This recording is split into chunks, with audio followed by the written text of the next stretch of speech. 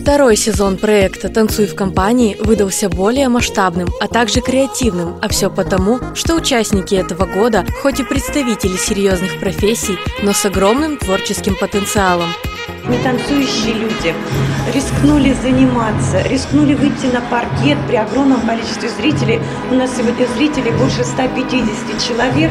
Конечно, это очень страшно, они волнуются, но, мне кажется, самое главное, они с этого паркета выйдут другими, более уверенными в себе, более раскрепощенными и более счастливыми.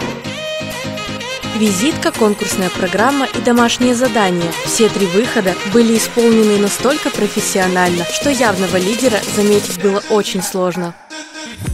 Нам было очень э, непривычно в течение месяца учить столько танцев, но мы каждый день ходили на тренировки, и нам очень повезло с нашим руководителем. Это было незабываемо, и мне кажется, такой шанс предоставляется раз в жизни.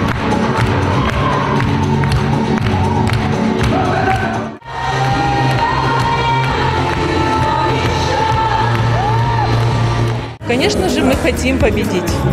Вне зависимости от того, э, я думаю, что мы победим, скорее всего, над собой, над своими э, какими-то комплексами даже, которые у нас были. Мы не умели танцевать, здесь немножко научились. Прежде всего, над собой победа, действительно.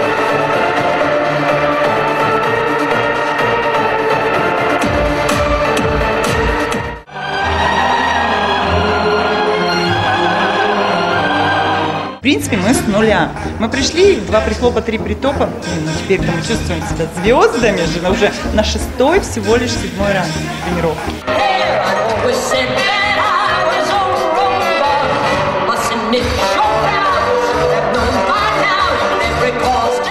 Ой, мы на сто процентов. Мы уверены прям в своей.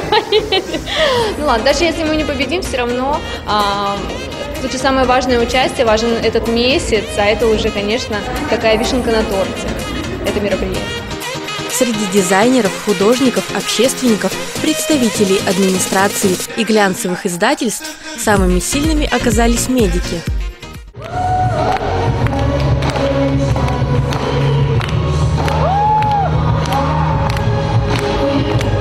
хип-хоп. Я до этого никогда не танцевала хип-хоп. Он очень интересный, ритмичный, достаточно широко амплитудный, и это очень тяжело было исполнять. Ну, мы падали, подскальзывались, естественно. Очень много было у нас интересного. И как уже было отмечено, главное не победа, а компания. А здесь собрались только лучшие.